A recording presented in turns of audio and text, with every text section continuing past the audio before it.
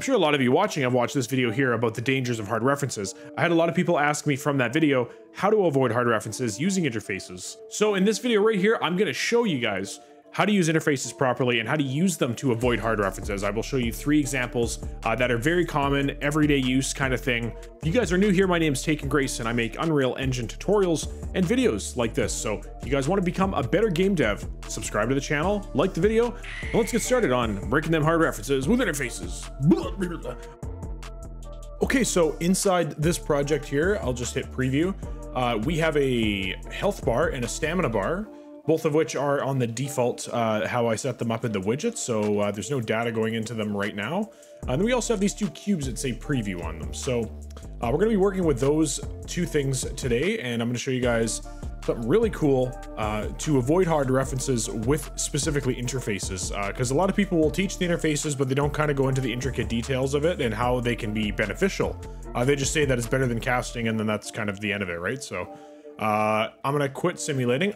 I'm going to show you inside my player character here, I've added a health component uh, in which I can set my health and my shield. Okay, so that's uh, this is what's running that. If you want to learn how to make that, we made that the other day in um, one of the FPS series videos, so you can head over there.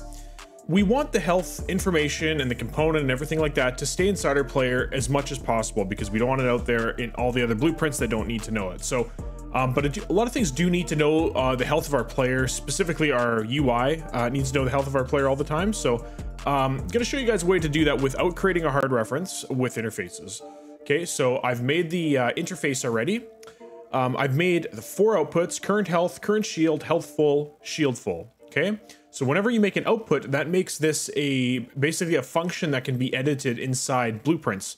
Uh, so when you're adding an output, you're going to want to implement the interface inside the blueprint where you want the data from.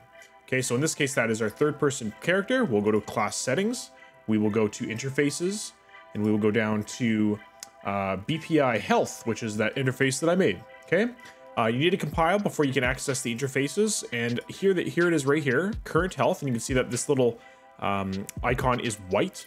So if I double click on this, it will take me into the function here of this interface. And now I can plug in all the data here. So current health, current shield, health, full health shield. So I'm gonna get all of that out of my um, component here. So we'll get our current health, current shields. And for the Booleans, we're gonna get um, max health and max shield. Okay, current health, just we're plugging in, current shield we're plugging in. And then for these ones, we're just gonna check if our current health equals our max health. And same thing for our shield. All right, so that's super easy, but uh, I want to you guys keep something in mind here. On the output, we have floats and booleans, okay? Any of these variables right here are data variables, okay? So the way a hard reference is created is that Unreal Engine in a one blueprint is pointing to another blueprint or another uh, thing inside your content browser, okay? So that's how you create a hard reference. Um, you cannot create a hard reference to these data types because they are not in your content drawer and they're not a specific blueprint to point to. Okay, they just have data in them. So we, if we output just the data, you are not creating a hard reference. Uh, let's go into our UI now. So in my HUD class here, we've created our health bar here. We're going to set all the data in there now. Okay, so the way we're going to do that, so we're going to get player character.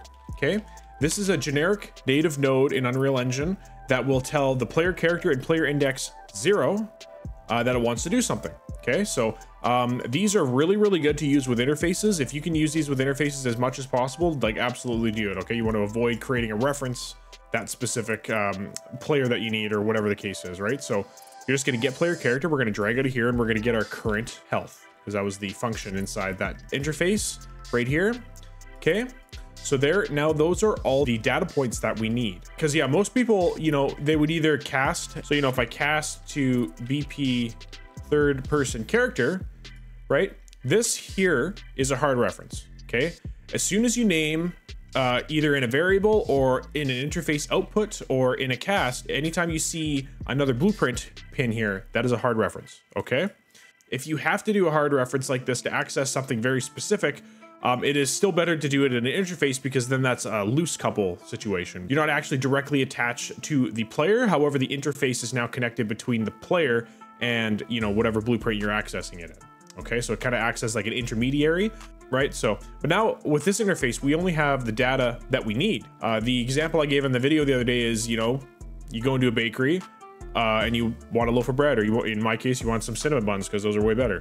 Uh, you know, hey, can I get some cinnamon buns? Sure, here you go. You know, I don't want to know anything about how the cinnamon buns were made or anything like that. I'm just gonna go home and eat them and enjoy my life, right? So, um, you know, but as soon as you create a hard reference, uh, that's you going into the bakery. Hey, can I get some cinnamon buns? And they're telling you everything, like machines they use, who baked it, uh, you know, their special ingredient and uh, you know the cockroach they have in the corner or whatever the case is right? So like now you know everything about the bakery and you don't really care. You just wanted the cinnamon buns to begin with right? So um, that's essentially what a hard reference does is it creates uh, basically a like a coupling or dependency where both blueprints are going to intimately know every variable uh, every material everything about each other right? And uh, that kind of creates a huge dependency chain that you don't want to deal with right? So uh, we want to keep that as separated as possible. This is how you do it okay? With output data points like this Okay, so I'm gonna grab our health bar here. So get the health bar, which is uh, the progress bar inside the thing, and I'm going to uh, set percent. Okay, and the percent is going to be our uh, current health divided by, uh, you would put max health here, but um, just for simplicity's sake, I'm just gonna put 100, which is the max. Okay, and then same thing we're gonna do for shield. We'll get our shield bar, and same thing here. Drag that back and actually uh, divide it by 100, because we wanna get that number between zero and one. And uh, health full and health shield you can use for um, health pickups if you're picking up a health item and you want to check if your health is full. Uh, that's how you. That's what you'd use for that.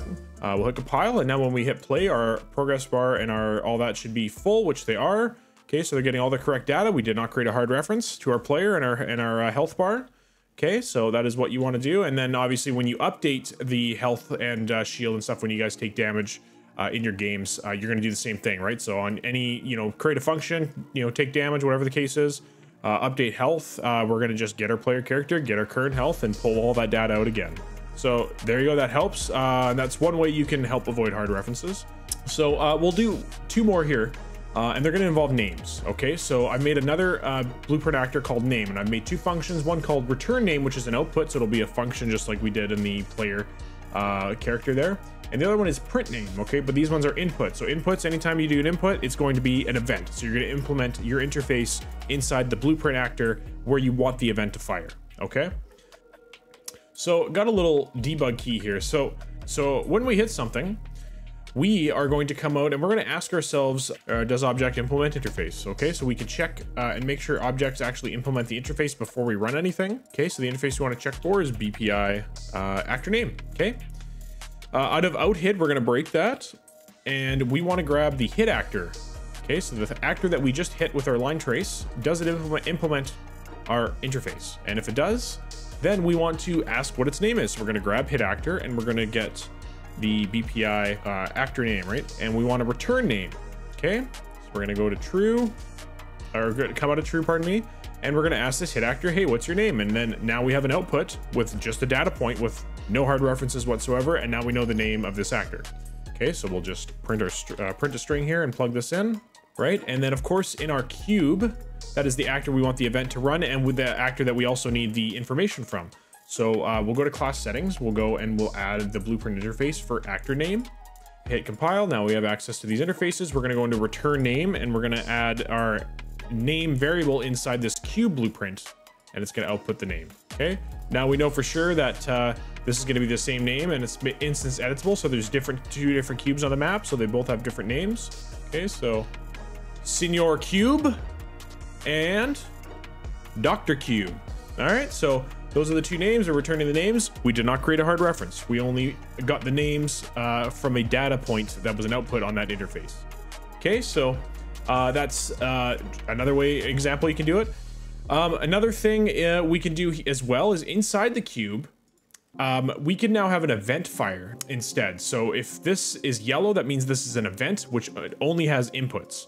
Okay, so we're going to implement event. And uh, so now this event is going to fire anytime that we call this interface. Okay, so uh, you can see I've made a format text node. Um, and then anytime you put the like the weird squiggly uh, brackets, uh, it adds it as an input. Okay, uh, or as a variable. So it says hello player name in brackets. I'm cube name. I see you have health remaining. Make sure it doesn't fall below zero or you get a game over. Sounds like every tooltip in every loading screen ever, just super unhelpful. Uh, anyways, player name, we're gonna plug into player name and our current health, we are gonna plug into health. Okay, so now when this formats, it's going to format uh, to be uh, whatever our variables are here. Okay, so when this, whenever this is fired, right now it says preview, so it'll change that once this event fires. Um, however, in our player character, we now need to change this to be that event. Okay, so um, hit actor, we're gonna drag out of there because it's the the actor that we hit. We want the event to fire in, and we're gonna get our print name. Okay, so this is the event that we want to fire. We'll plug these all in. Uh, we can get rid of that print string actually. Okay, so our current health, we can just grab from our health components, get current health, and plug that in. Okay, and then for our player name, I mean, just call them Taken Grace. Why not? Taken Grace. Okay, perfect. Uh, maybe that's a variable in here or whatever the case is, right? So you just plug in whatever data you need to send to this other blueprint. And again, these are data points, so we're not creating a hard reference by doing this, okay? This is the hardest part is getting the target to run events because obviously we want uh, to avoid a hard reference. This is an actor object reference and actor object references are good because that means it is so generic that it is impossible to actually point to something physically in uh, the content browser because an actor is the parent of all objects in Unreal Engine. It has all of the um, all of the functionality for the uh, for the item to exist in the world, basically, right? So everything inherits from actor. So if you have just an actor variable, super, super generic. Anyways, we're gonna hit compile. We are going to uh, test this out now. So we're gonna hit play and we're gonna walk up to our cubes and we're gonna hit interact with it. And it says, hello, Taken Grace, I'm Senor Cube. I see you have 100 remaining. I guess 100 health would have been good to put in there. Make sure it is help with whatever. No, we don't care about your tooltip. Okay, come over here, hit it. Hello, Taken Grace. I'm Dr. Cube. I see you have 100 remaining, right? So uh, there. So we did three separate interface things. All three of them did not create a hard reference. Okay, that is one of the most um, underexplained things I think about interfaces. I mean, I don't know about you guys. I I find that a lot of people go through the same path. They're learning Unreal Engine, and then they you know discover that casting is kind of the way to talk to other blueprints. And then you know everyone's saying you know don't use casting, use interfaces, and then everyone's like oh okay, and now everybody's using interfaces, but they don't know you know the specifics behind interfaces and why they're so great uh, compared to casting um, yeah, the, the long story short, it's a hard reference that we want to avoid, right? So everywhere in your games, you should be doing something like this uh, to avoid creating coupling or hard references, okay? If you want to make the health component in the video, you can click on this video right there. If you want to learn about the line traces, you can click on that video right there. Special thanks to my royal members on my Ko-fi page. If you do want to support what I do, you can head over to my Ko-fi page, check it out, and I'd love to see you over in our exclusive club in our Discord. As always, keep learning till you game over. Peace.